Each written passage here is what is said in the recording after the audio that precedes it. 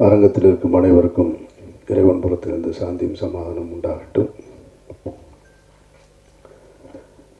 இயக்குனர் சாமி அவர்களுக்கும் எனக்கும் பெரிய நட்பு உறவோ பழக்கமோ தொழில் ரீதியான பழக்கமோ எதுவுமே அதிகம் கிடையாது. இந்த விழாவுக்கு வரணும் அப்படின்னு சொல்லி என்னை கிட்டத்தட்ட ஒரு நாலஞ்சு நாளாக தொடர்பு கொண்டு கூப்பிட்டாரு.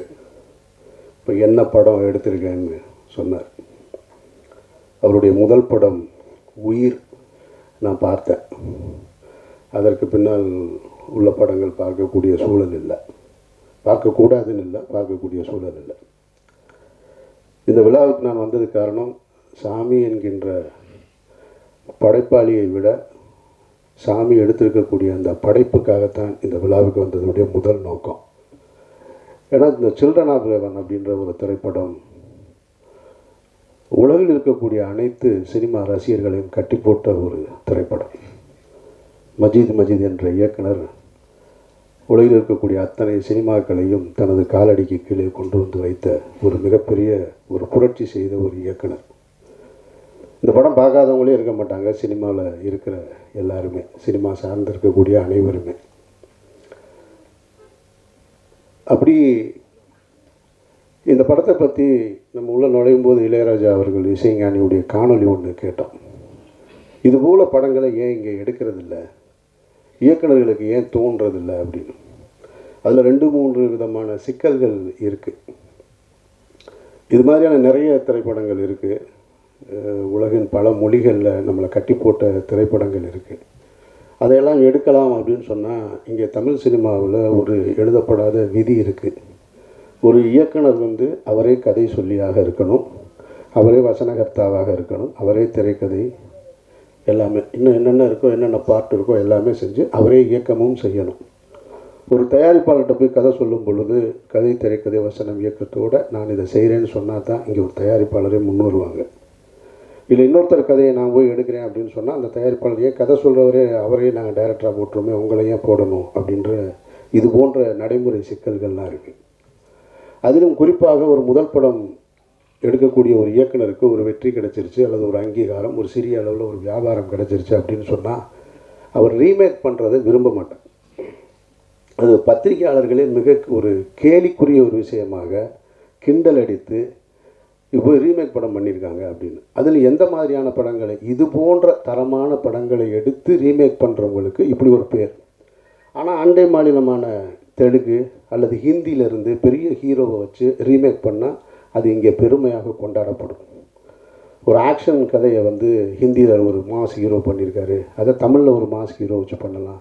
தெலுங்கில் ஒரு படம் சூப்பர் ஹிட்டு அந்த படத்தை இங்கே பண்ணலாம். ஒரு பெரிய ஹீரோ வச்சுன்னா அந்த படத்துக்கு கொடுக்கப்படுற விளம்பரம் ஆதரவு அதுக்கு கொடுக்கக்கூடிய வரவேற்பு அந்த இயக்குனருக்கு கொடுக்கக்கூடிய மரியாதை எல்லாமே வேறு லெவலில் இருக்கும். ஆனால் இது போன கலைப்படைப்புகளை வந்து நம்ம பண்ணும் பொழுது ரெண்டு கத்தி மேல் நடக்கிற மாதிரி. ஒன்று உலகம் முழுவதும் கொண்டாடி அந்த திரைப்படத்தின் தரம் குறையாமல் நம்ம கொண்டு வரணும். நம்ம மண்ணுக்கான கலாச்சாரத்துக்கு நெருக்கமாக அந்த உணர்வு கொஞ்சம் கூட குறையாமல் எடுத்துகிட்டு வர வேண்டிய அவசியம் இருக்குது ரெண்டாவது அந்த மாதிரியான படங்களை எடுத்து கொஞ்சம் தவறிடுச்சுன்னு சொன்னால் இது என்ன ஒரு பெரிய டேரக்டர் அவர்? இது ஒரு ரீமேக் படம் பண்ணியிருக்காரு அப்படின்னு. எனக்கு இதில் ஆரம்ப காலகட்டத்திலேருந்து இது ஆச்சரியமான விஷயமாக இருக்கும். பெயர் சொல்லாமல் ஒரு படம் சொல்கிறேன் நான். தெலுங்கில் ஒரு சில்வர் ஜூப்ளி படம் வந்திருந்தது. தமிழில் அந்த படத்தை ரீமேக் பண்ணியிருந்தாங்க. தமிழில் அந்த படம் சில்வர் ஜூப்ளி ஒரு ஷாட் கூட மாறாமல் எடுத்திருந்தாங்க. அந்த திரைப்படத்திற்கு இங்கே இருக்கக்கூடிய பத்திரிகைன்னு நம்ம சொல்லக்கூடிய தரமான பத்திரிகையாக பார்க்கக்கூடிய மார்க் போடக்கூடிய ஆனந்தவுடன் பத்திரிகையில் ஒரு விமர்சனம் எழுதப்பட்டிருந்தது. திரைக்கதையில் இயக்குனர் பிரமாதமாக பண்ணியிருக்காரு அப்படின்னு ஒரு விமர்சனம். எனக்கு அதை படிச்சுட்டு இன்னும் ஆச்சரியமாக இருக்குது இன்னமும் அந்த பதிவு அப்படியே இருக்குன்னு வச்சுக்கோங்க. அவர் ஷாட்டு மாறாமல் ஒரு தெலுங்கு படத்தை எடுத்திருக்காரு. இதில் திரைக்கதை பிரமாதமாக இருக்குன்னு சொல்லி இவங்க விமர்சனம் எழுதுகிறாங்கன்னா விமர்சன பார்வையாளர்களில் மத்தியில் இயக்குனர்கள் சிக்கிக்கிறோம். வேறு வழி இல்லாமல் இதை இப்படி எடுக்க முடியாமல் போயிடுது. இளையராஜா அவர்கள் கேட்ட கேள்வி நியாயமான கேள்வி. இது ஏன் உங்களுக்கு தோணலையான்னா சில்ட்ரன் ஆஃப் ஹெவனை எடுக்கணும்னா சாமிக்கு மட்டும் இல்லை இங்கே இருக்கக்கூடிய பல இயக்குநர்களுக்கு தோணிருக்கும் தோணாமலாம் இருக்காது. எனக்கு தோணியிருக்கு. இது எப்படி எடுக்கிறது? இதை எடுத்துட்டோம்னு சொன்னால் பருத்திவீரன் ஒரு இப்போ நம்ம ஒரு நேட்டிவிட்டி சொந்த கதையை எழுதிட்டோம் ராம்னு ஒரு சொந்த கதையை எழுதிட்டோம் இப்போ போய் ரீமேக் படம் பண்ணுறதா அப்படின்ட்டு ஒரு முத்திரை குத்தப்பட்டு வியாபாரத்துக்குள்ளே தள்ளப்பட்டு ஒரு பயம் வந்துடுது. ஓ இதை நம்ம செஞ்சால் மார்க்கெட் இறங்கிரும். அல்லது மக்களிடத்தில் அங்கீகாரம் கிடைக்காம போயிடும் பத்திரிக்கையாளர்கள் கேட்குற கேள்விக்கு பதில் சொல்ல முடியாது. ஏன்னா இங்கே கலர் கலராக சட்டை போட்டுக்கிட்டு விமர்சனம் பண்ணுறதுக்கு ஆளுங்க நிறைய இருக்காங்க.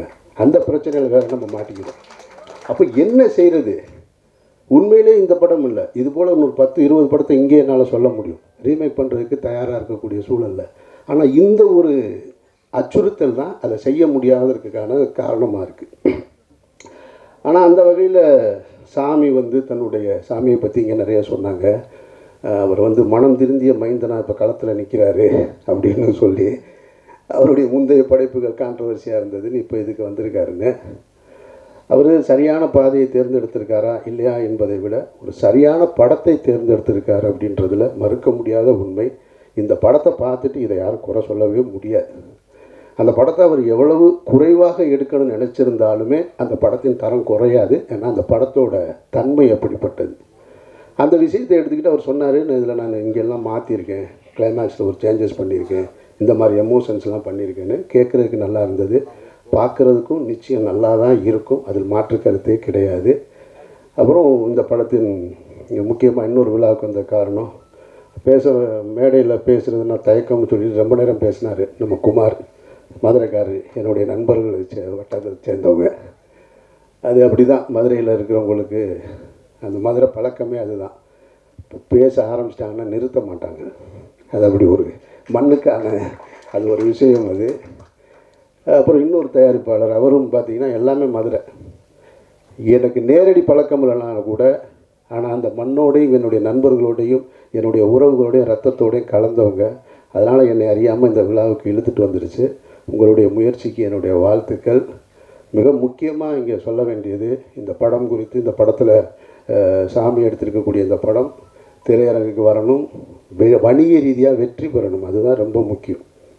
இப்போ இந்த விழாவில் நான் பார்க்கும் பொழுது கேமரா கம்மியாக இருக்குதுன்னு எனக்கு நல்லாவே தெரியும். ஏன்னா நான் பல விழாக்களில் பார்த்துருக்கேன். ஒரு சாதாரண படத்துக்கு ஒரு கான்ட்ரவர்சியான விஷயத்துக்கு எத்தனை கேமரா வரும்? இதே சாமி வேறு ஒரு படம் எடுத்திருந்தால் இங்கே எத்தனை கேமரா வந்து குமிஞ்சிருக்குன்னு எனக்கு நல்லா தெரியும். இதுதான் உங்களுக்கான சோதனை. அப்போ நல்ல கலைப்படைப்புகளை எடுக்கக்கூடிய இயக்குனர்கள் என்ன சோதனையை சந்திக்கிறாங்கன்றதை நீங்கள் தெரிஞ்சுக்கணும்னு சொன்னால் இதுதான் உங்களுக்கான உதாரணம்.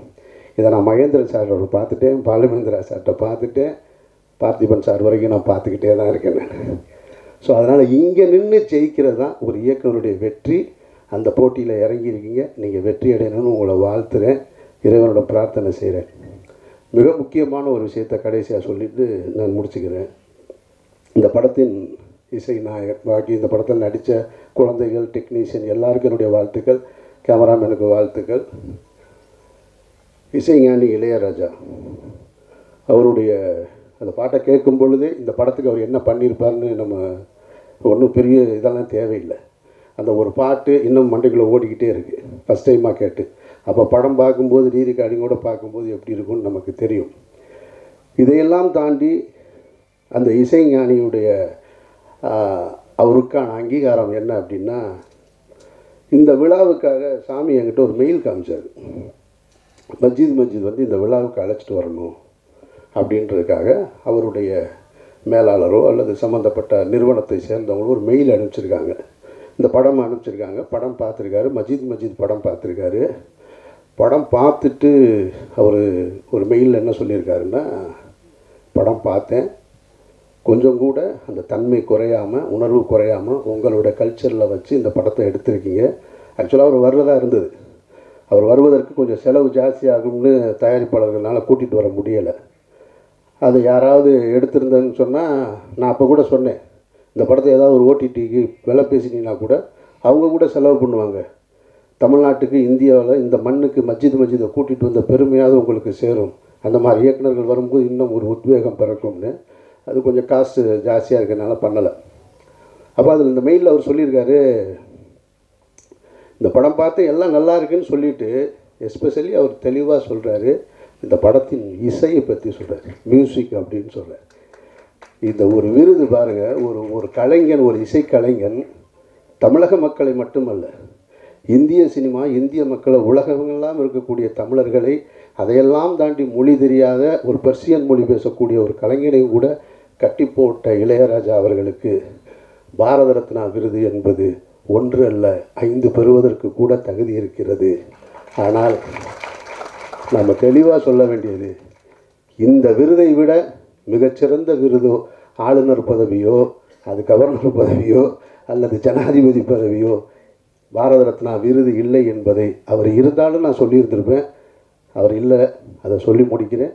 இசைஞானியின் இந்த பயணம் தொடரவும் இந்த படம் வெற்றியடையும் வாழ்த்துக்கள் நன்றி.